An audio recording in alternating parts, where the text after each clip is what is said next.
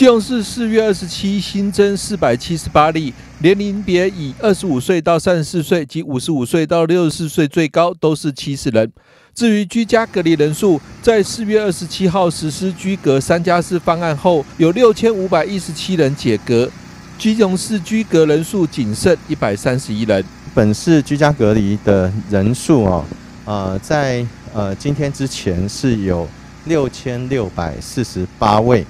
呃，不过中央三加四的新政策上路之后呢，呃，本市现在最新解隔的人数是六千五百一十七人啊，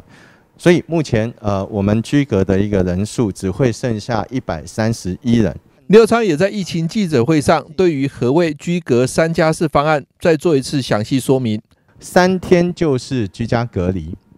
好，四天是自主防疫。的管理，如果你的居隔的时间已经超过了七天，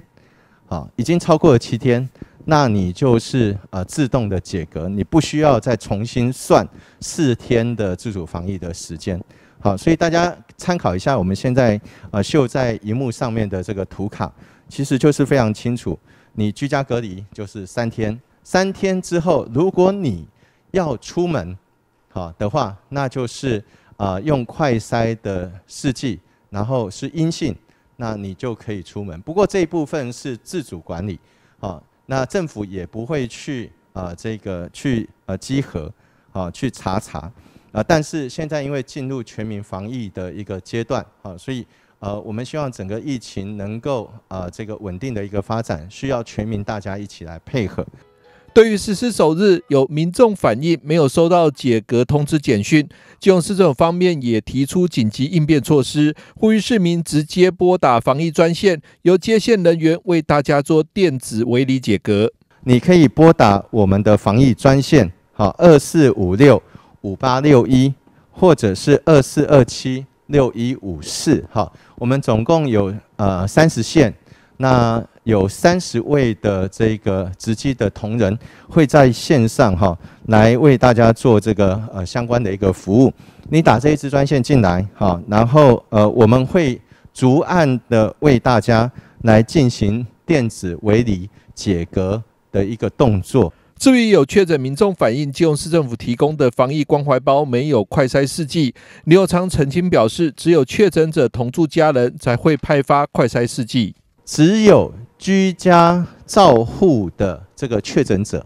他才会有防疫的关怀包。好，我再强调一次，居家照护的确诊者才有防疫关怀包。那确诊者是本来就没有。好，那呃这部分大概就是十天。好，你如果是确诊者的话，你就是呃这个十天的去做自动的一个解隔。所以呃这个。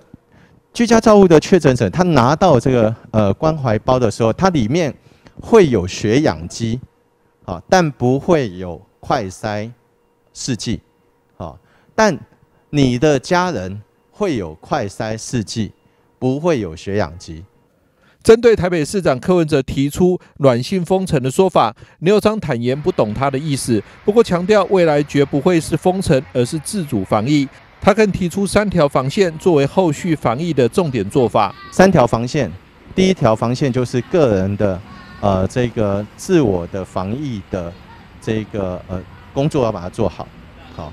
第二个就是利用快筛的一个试剂来随时监测自己的一个健康的一个状况。